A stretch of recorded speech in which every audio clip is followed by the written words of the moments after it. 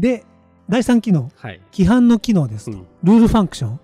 自覚のある短所の一つ。うん。新しい場面に弱く、自信もないのですが、社会的な場面では適応するために頑張ろうとする。うん。また、ピンチの時に体を張って手動する機能を守ろうとするのもこの機能だと。うん。でもまあ、意識のある苦手の部分ですね。うん。うん。が TI、内向思考ですと。短時間なら市場を挟まない学術的、うん。理論的な見地からものを語ることができるが、うん。その様子は極端に弦楽的。弦楽的というのは、うん。学問、知識をひけらかす様子とあります。うんまあ、物知りぶるから相手に嫌がられたり、うん煙たがられたりする態度のことを、まあ、弦楽的っていうそうですね。なので、この短時間ならそういったものを語ることができるが、うんその様子は極端に弦楽的でうん。緊張しがちですと。うん FI の判断によって決めたことを論理で正当化しなければならないと感じると、うん。一応努力努めはするのですが、うん。すぐにイライラしてしまいうん。特に論理の矛盾を指摘された時にはうん。イライラが顕著に現れますと、うんそうなると倫理的な動機を説明するかうん。あるいは完全にその話題を避けるかしますうん。なのでまあこのうん。F の人ですもんね F の人。内向の F の人うん。主機能がファーストが。うんファーストがうん。なのでまあそのシンキングうんを使うことができるかやっぱり緊張しがちだと、まあ、批判なので、まあそういうとこですよね。使わなきゃいけないって言って、使うことがあるけど、まあそういう感じで、ちょっと知ったかみたいな感じで見えてしまう見えてしまう。はで、そこにこう、なんか突っ込まれると、急にもうイライラして、したして、い、イライラはわかりますはいでいうとまあうん。でもシンキングはい。思考優先ロジカル優先うん。このソシオニクスでいうと L うん。うん。L 優先の人にとっては、うんそちらが重要ですもんねそう。重要です。なので、うん違うと思えばうん。悪意はなくてもうん。論理的についてくるついてくる。で、疲れた時に、もうイライラが爆発してくる。倫倫理を持ち出す 倫理倫理的に、はい、理屈ではそれが合ってるけどね、みたいうんな。そういうところってことですね、で脆弱な機能4番目うん。脆弱な機能ですと、うん。脆弱な機能というのは最大の短所でうん。ちゃんと苦手意識もあるうん。新しい場面に弱い上社会的なニュアンスにも疎いとうん。使用するだけでストレスを感じるっうん。ていう機能が SE うん。あなるほど外交感覚ですうん。そっか僕が多分ソシオで言うとうん SEE なので SE。はいはいはい。多分うん。外交感覚が主機能なんですねはい。その辺ですかね。その辺のがイラッとさせるかもしれないですね互いに。刺激し合う、はい攻撃的あるいは敵対的な態度に過剰反応しがちでうん。単なる反射的な反応うん。あるいは悪い雰囲気による結果でしかなくても自分への脅威だと捉える。あさっきみたいなやつ。そうですね。お前言えよって。はい。僕は別にこれはあんまりねなんていうんだろう。攻撃ではないんですよ。うん。言ってほしいなんですよ。うんうんうん。それをこう攻撃とみなして、あ、脅威だと思う。っていうことかもしれないですねなんでおめえに本音を言わなきゃいけねえんだよって 死ねって思ってんだよってなるほど、はい。えーと他人の空間に踏み込むことやうん。高圧的と受け取られるかもしれない態度を取ることを避けようとし、うん。人にしてもらいたいことを頼むよりは、うん。自分で訓練したり準備したりすることで、うん。自分の欲求と向き合っていこうとします。うん。まあ、このような戦略に失敗すると生じてしまった衝突を対処しようと努力するのですが、うん。臆病で不自然に見えるようなやり方でするので押し付けがましい人に見えますと。はい。このことによって痛烈な批判や自分の弱さや無力さと直面することになりますと。うん。何をすべきか、うんなぜすべきかについて道徳的に説明したり指導したりすることはできますがうん。他人が反抗したりうん自分の言う通りにしなかったりすると対応できなくなりますと。そうなると自分の理屈や思いは捨てて、うん。他人には必要なかったことをさせるだけでなければいけなかったのだろうと思います。不可能ではないにせよ、そうすることはこの人たちにとっては極端に難しいことですと。うんうん。なるほど。なんかこの倫理的に言うことはできるって話ですよね。うん。自分の価値観みたいな、これがこうした方がいいってはい。いうのを述べることはできるけど、はい。他人がそれに賛同してこなかった時に、もういいや、はい。みたいな。僕はね、それを多分しがちなんですよ。うんうん。はい。しがちというと。特に自分が何かをした場合、ん平等であるならば君もすべきだろう。うん。なんで、でそこでふ踏み込もうとするんですよ、自分は多分僕は。で、ズレがあった時に、はい。もう完全にそっちにこう、ほんじゃ、って乗っかるって話ですよね。私のやつはこの人は求めてないんだ。ああ、そうでですね。やると、はい。自分の意見をニーズを言えよって言われるはいはってやつですよ。い。そうですね。はい。これなんか、うん。逆だとやっぱり、うん。逆のやつを読むと、うん。うん。ためになりますね。やっちゃいけない。なぜ、なんか対立とか、うん要は、ああ、生まれるのか。だってうん誰もね、うん対立なんてしたくないんです。はいはい。まあ多分そうですよ。みんなしてしたくないですよ。本当はみんな仲良くしたいはずなんですよ。うん。仲良くしたいと思って、うん。みんなが自分のやりたいことをやるんですよ。うん。それが対立になるんですよ。これがいいと思ってやると、うんこう怒り出したりするんですよ。そう。うん。本当そうなんですよ。うん。うん。で、まあ、今、4番目の SE までやりました。うんこの上の部分は、自覚のあるところですね。はいで、分かってる部分下分かってる部分。うんで、下に行くと、えっ、と、自覚できない部分になってくるんですけども、5番目、うん。暗示される機能ですと。うん。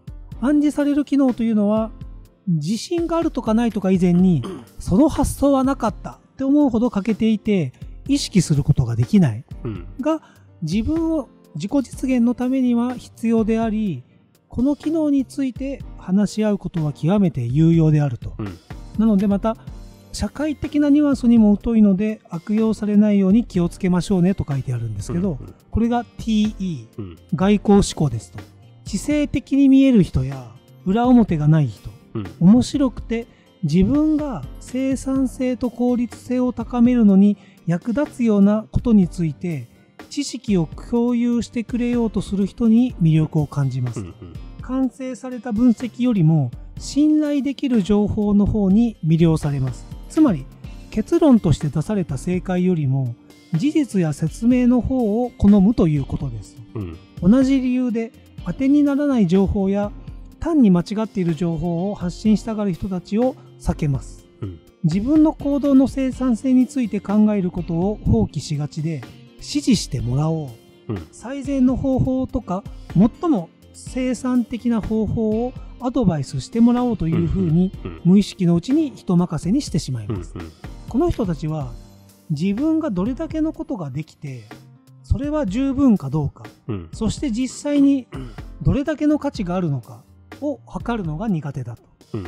自分の行動の生産性を自覚しいつも合理的でやりがいのあることをしようとする人たちを尊敬します、っ。ていう態度がうん。このつけ込まれる。ところでもあるっていうところですね、悪い人だと。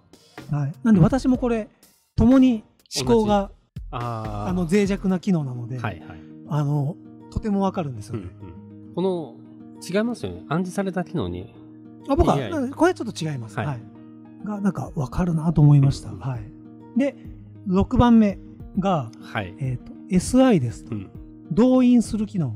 自分の行動に強く影響を与えているのですが、自分にはよく分からないため、これを主導する機能を持っている他者から学ばないといけない。うん。まあ、そういうところが、この部分だねっていうところですね。うんうんうんなんで未発達でもあるが簡単なことなら十分にこのこ機能を使える、うんうん使いこなせるとあるんですが MBTI でいうところの先ほどのなんで5番目が劣等機能。うん。でこの6番目が、えー、と第3機能うん。と言われています、でこの EII にとって動員する機能は SI はい。内向感覚だと。うんうん。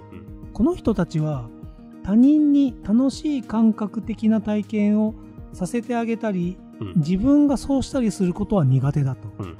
楽しいことについて話すのは好きでうん。それを聞いた誰かがヒントをくれたり誘ってくれたりしたらいいなと思っていうんます定期的に緊張したり不安になったりしやすいのですがうん基本的にはそういう嫌な感覚を自力で解消することができませんうん誰かにリラックスさせてもらうか自分がしていることは本当に自分が必要としていることなのかうん。または本当にそれを楽しいと思えているのかうん。そしてこの緊張の原因は何だったのかについて誰かに内なる目で見てもらうしかありませんとうん。彼らはこの領域では極端に走りがちで不健康なまでに感覚を失わせるか逆に不健康なほど感覚を甘やかしますと。内向感覚。内向感覚ってなんだ？いまいちわかんないですよね。自分を見つめる感覚。うん。内向的な態度をとりますとユングでは。内向感覚。内向感覚。でちょっと訴訟じゃないんですけど内向感覚。自分の内部に見聞したものを他人に伝えるまあそうか自分の内部を見聞するのが苦手。苦手うん。なんで緊張してるんだろうとか、なんで不安を感じてるんだろうあを探るのが苦手。ああなるほうど、ん。他人に楽しい感覚うん。的な体験をさせてあげたり自分がそうしたりすることは苦手ですがっうん。て書いてあるんですけど、うん他の人はそうは思ってないかもしれないですよね他の人はっていうと？え、うん楽しい感覚的な体験をさせてあげたりそうしたりすることは苦手って書いてあるんですけど、うん他人にたの楽しいっていうのはうん楽しいは他人が感じてることじゃないですか、うんうんうん。だからなんか楽しいっていうのを感じさせてあげようみたいなのが楽しいってなんだろうみたいな感じじゃないですか。どうしたら楽しいんだろうみたいな感じで悩んじゃってそういうのが苦手だけど楽しいと感じてるかどうかはまあ相手の問題なので。うん。まあまあまあまあ。なんか楽しませようみたいなのが苦手何をしたら楽しいんだろう？何をしたらこの人は楽しいって感じてくれるんだろう？ああなるほど、うん。だからまあ自分が楽しいことについて話すのは好きでうん。それを聞いた誰かがヒントをくれたり誘ってくれたらいいなと思っています。うん。楽しいことについて話す。だからこう楽しいのは求めてるから、人からヒント欲しいみたいな。一緒にこれ楽しいからやろうよとか。僕その人に対して、うんお前のニーズを語れよなんて言ってるんですね。そう。でこうなんかヒントちょうだいよみたいなこと。を ああこれは反省だね。いや僕みたいなその、うん。なんて言うんだろう。感覚強者。うんうん。SE SE はいはい。まあ好きとか分かるに決まってんじゃん、うんうん。ニーズなんてあるだろ。うん、うんのやつがうん。うんこうやって迫ってるわけね、どうしようどうしようって言ってる人になんでよって。お前楽しいなんかあるに決まってるだろうって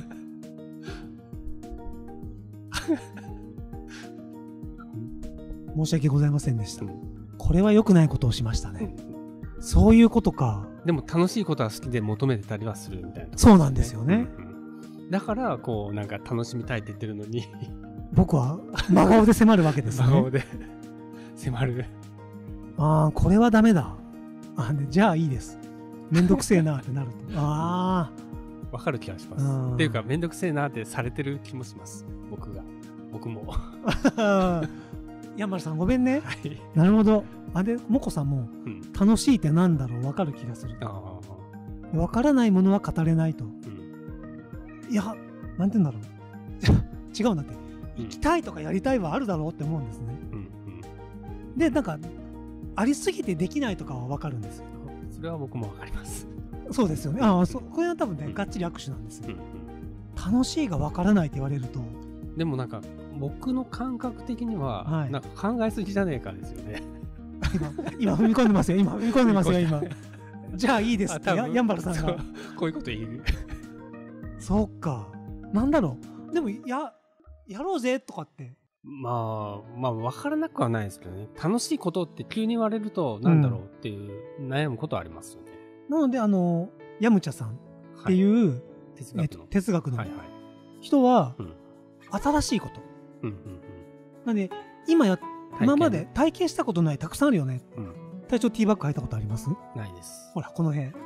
だから新しい経験をはい。一個ずつ潰していきましょうと、うんうん中に僕はあるんだと思ってます、うんうん。どうでしょう？なんかヒントになりましたでしょうか？うんはい。あやったことがないことうん。ありますよねと、まあなんか過去の経験な気はするんですよ。